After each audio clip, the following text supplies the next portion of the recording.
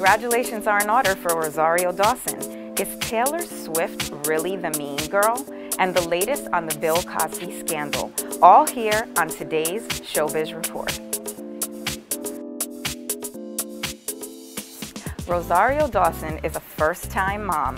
She adopted a 12-year-old girl, according to reports, and it's something that she's wanted to do for many years, as she is a product of adoption. She was adopted by her stepfather as a baby.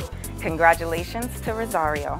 Taylor Swift may sing about mean people, but is she really the mean girl? Well, according to a source that talked to the New York Daily News Confidential section, she is.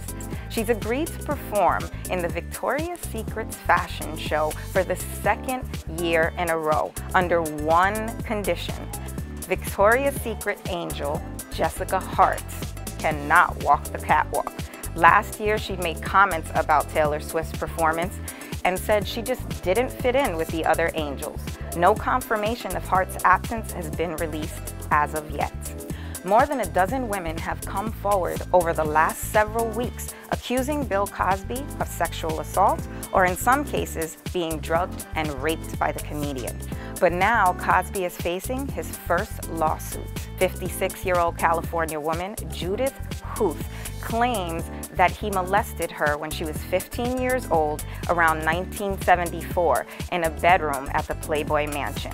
She is suing him for sexual battery. This is Zayda Rivera, entertainment reporter with the New York Daily News, and that was today's Showbiz Report.